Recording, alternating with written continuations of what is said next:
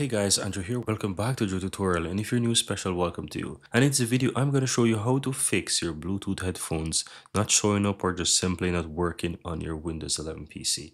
So I'm going to walk you through a couple of things that you need to do to be able to fix this problem. So I'm going to walk you through a couple of troubleshooting steps that you need to do to be able to fix this, taking in consideration that your Bluetooth headphones is not faulty and it's currently working right? So what do we do? The first thing we want to do is just simply right click on the windows icon on your taskbar and you want to go to settings. Now once you're inside settings click on the bluetooth and devices on the left hand side and you want to ensure that bluetooth is actually turned on. So ensure that this is toggled on and you have the bluetooth turned on there. And you will see if you have any devices that were already paired there or something like that. If you have it there you can try to really connect it again. Now if you're not able to connect it guys now i want to recommend that you can easily go ahead and click and add.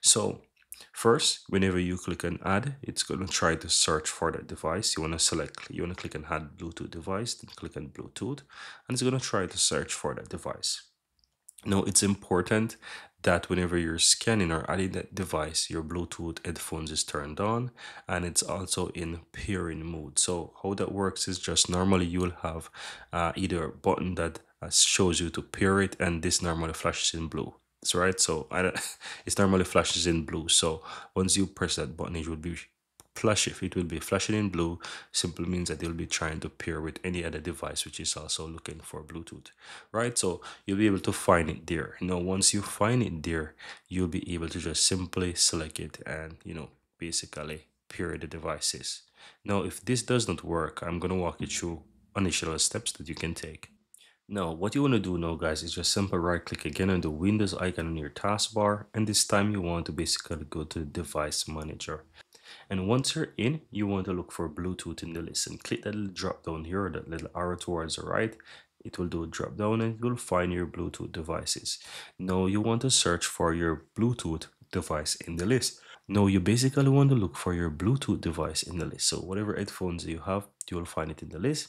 And what I recommend that you do if you find that headphones in the list is just simply go ahead and for example right click on it. Let's say this is my Bluetooth device or my headphones and I will just simply choose to uninstall device. But don't worry, you uninstall it and all you have to do afterwards is once it is uninstalled, it's going to be removed and you just need to come here and click on action and you want to go ahead and say scan for hardware changes. It's going to scan and you will be able to see that it installed the device again. Sometimes it may require for you to just simply restart your PC and once you do that, you'll be able to see that it installed.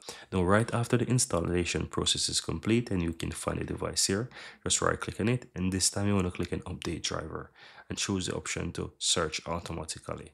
It's going to quickly search automatically the web for you so you need active internet connection as well. So you want to have it search automatically and it's going to try to locate the best driver for you to install it for that device. Now once this is done guys, go ahead and try to see if you can connect your Bluetooth device again. So you would go back and you will go back into the settings again and you know follow the same process bluetooth devices and try to add that device. And you know it will start to scan for that device. So ensure the bluetooth device is also in pairing mode and so you'll try to see if it no works if it fears if it detect the device and so forth right? Now just in case this still doesn't work you can try one more thing right? You can just simply go ahead and click on the windows key on your keyboard and this time type in services you'll find services appear here and you want to open up the system services here. Now you'll find a bunch of different services and it's important for you to just look for the one that says bluetooth. So you want to scroll all the way down guys. What you want to do you want to scroll down to the b section here of this and you want to look for the bluetooth services. So scroll down until you find bluetooth support service this one here. You want to simply right click on it and you want to go into the properties. Now you will see that it shows up you want to change the startup type from manual to automatic. So you want to select automatic and then click and apply. Just simply go ahead and just simply stop that service and then once you stop it you can go ahead and you can start it again or you can just go ahead and just close off it find the service right click on it and do a quick restart of that service and then you would follow the process again by going back to the devices go to bluetooth and try to see if you can search or scan for that device once more And that's basically it, guys. I hope one of these solutions will help you to fix that issue, guys. But I wish you the best of luck. And I hope that you'll be able to connect to your Bluetooth headset or your Bluetooth headphones on your Windows 11 PC. And that's it. Thank you guys for watching and see you in the next video.